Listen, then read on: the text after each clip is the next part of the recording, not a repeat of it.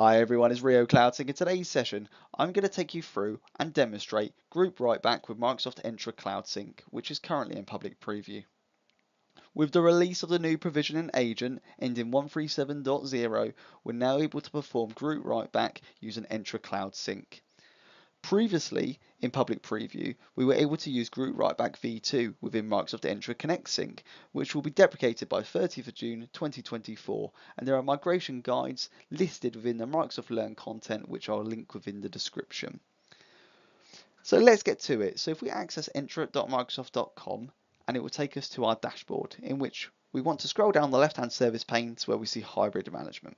We want to select Entra Connect, which will display the two sync methods, either through Entra Cloud Sync, which is where we're going to be adopting and using the new um, group writeback feature, and we have Legacy Connect Sync, which, like I said, the um, the group writeback v2 will be deprecated by 30th of June uh, 2024.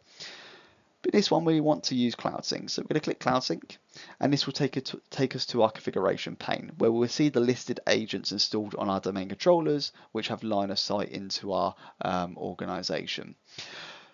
So we can see here we've got one agent um, installed on a uh, particular server. The server does have to be 2016 and above, so that's Windows Server 2016. Um, like I said, you do need to have the hybrid administrator role okay and only cloud security groups are supported from syncing from Entra ID to on-premise so if I was to create a new configuration, if I was to do this from scratch, of course I've already got an existing configuration in place which is showing it in a healthy state. I, I now have two options.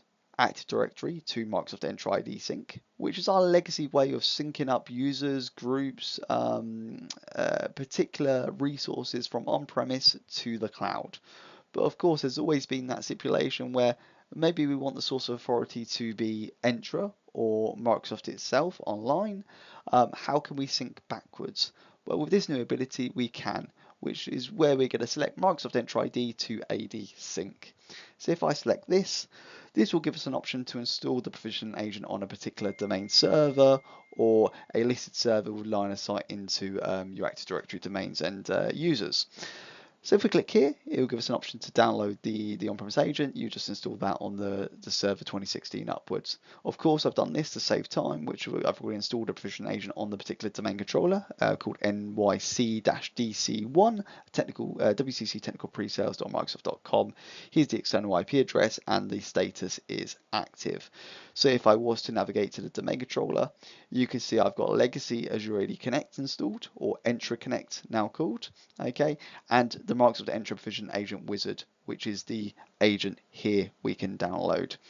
Um, a key thing to take away from this piece is we can sync identities up, okay, and groups up while using the Entra Cloud Sync. So we can use both Azure AD Connect and the Entra Provisioning Wizard um, in coexistence with one another. That's not a problem. So if I was to go back to Entra itself and come out of here, Okay, uh, we've already created the, the, the, connection piece between Entra and AD. As I said, I've done this before. Um, we then want to click into WCC Technical Presales.microsoft.com in which will take us to our overview pane for the connection piece where it's, it's listing our domain and the configuration status. When you do create the connection piece between Entra and on-premise, you need to enable it as well. Okay. Here we've got a feed, so I can say, okay, I've got one agent. Okay, you may have more for redundancy uh, reasons. Uh, the configuration status is enabled, like I said, you need to enable it. The sync um, interval is just a delta sync. It syncs every 20 minutes. We can provision on demand if needs be, but there is a limit of um, up to five users per uh, security group we can sync down uh, to Active Directory domain uh, services. And we've got the group provision to AD sync errors here. So kind of the, the service health per se. So we do have some quick links on the bottom where we can download additional agents and we can provision on demand, but also we can provision on demand here. Um, same principle applies. Um, and we've got the manage section. The manage section is very important because we need to go to manage to be able to define what groups are being synced, okay, from Entra to AD domain services and where to. So first things first, you've got the group scope. So we can sync all security groups within our given organization or selected security groups. In this instance, I've selected two objects, which are two security groups, one called Entra Cloud Sync and one called Entra Group Test. The Entra Cloud Sync has one member in, and that member is a hybrid member, where in which they're being synced from on-premise to the cloud. We can only populate um, individuals or identities into given security groups which are being synced from Entra ID to on-premise if they're a hybrid identity because the object needs to exist on-premise. If they're cloud only, they won't propagate into the on-premise AD group uh, because the object does not exist and we'll see that in practice in a second. So if I go back, I've selected the two groups and I can see the target container. Okay, so in here we're just using the default type container, which is um, users or all users. We've got a domain controller there, which is WCC technical pre-sales and the, the prefix. We've got some mapping types here, which is constant, direct, non, or expression, and we can expand upon those um, if needs be. But really, I'm just using the out-of-box mapping. So if I come back, um, so what we said here is, okay, we're syncing down these two objects, they're, they're security groups. This is where we're going to be syncing them to, okay? Um, and uh, and we've got the listed groups in scope here with the object ID. What you'll see when the groups are synced to on-premise AD, they will have um, some of the object ID string uh, appended to the group name.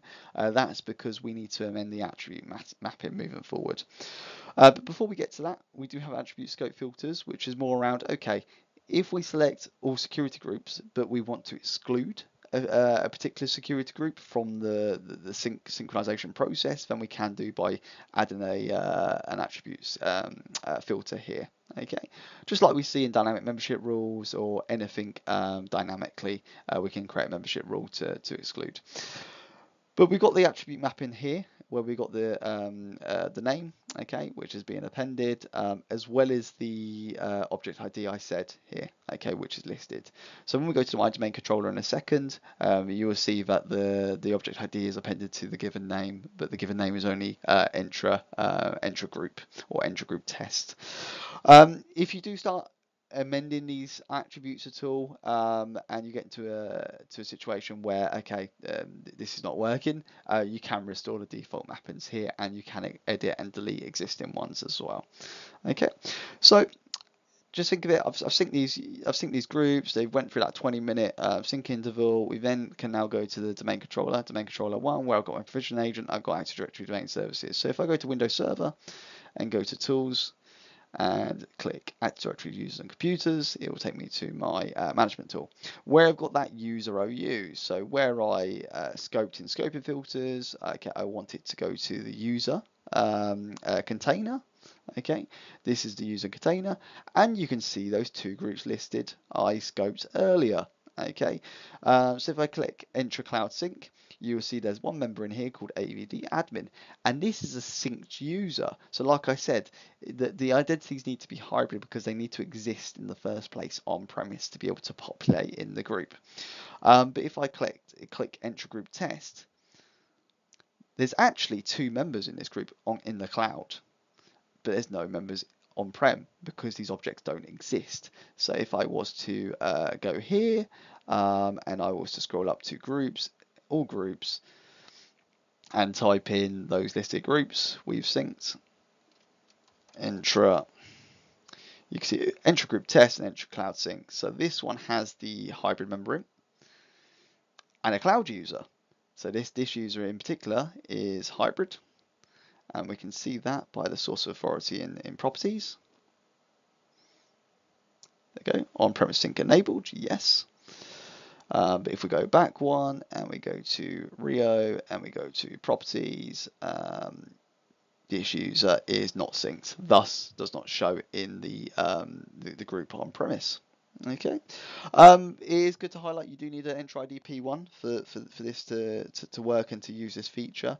And like I said, um, this, this, works with both Entra Connect and Cloud Sync uh, ecosystems with one another. And you can uh, sync down uh, both dynamic and static groups um, to on-premise. Just make sure you've got you, you're, you're aware of that dependency in terms of the, the hybrid users and cloud-only users. Okay.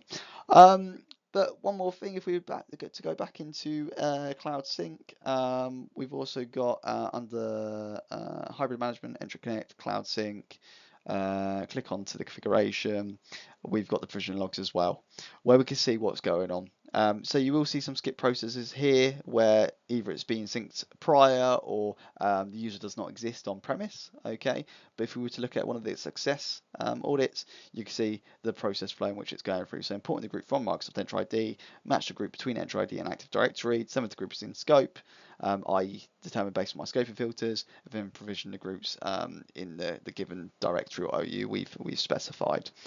Uh, we've also got general audit logs here for any amendments within the given service.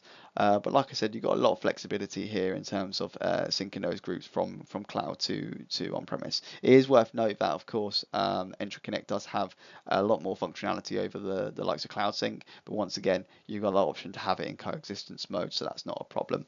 And I think really the main takeaway from this video is the, you've, you've now amended the source authority to cloud rather than on-premise for these particular groups. So if you are going to be managing these groups moving forward, then uh, best case is to, to manage the members and uh, or the users uh, within Entra ID moving forward rather than on-premise AD. If you start messing around with the users on-premise AD and start deleting them, removing them from particular groups, um, then there will be a conflict of interest in terms of identities, and and you'll have a very big tidy up session to to complete. But like I said, there is a migration guide to move you from V2 version to the new Entra Cloud Sync.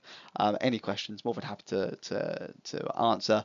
Um, but yeah, that, that, that that's me. Um, and like I said, thank you very much for watching. Thank you.